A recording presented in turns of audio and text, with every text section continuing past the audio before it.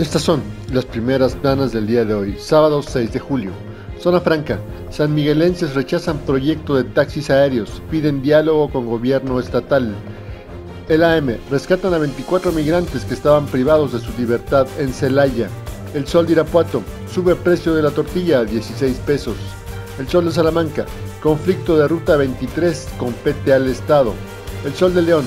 Extorsiona mafia a los empresarios. El Heraldo de León. Caen presuntos multihomicidas.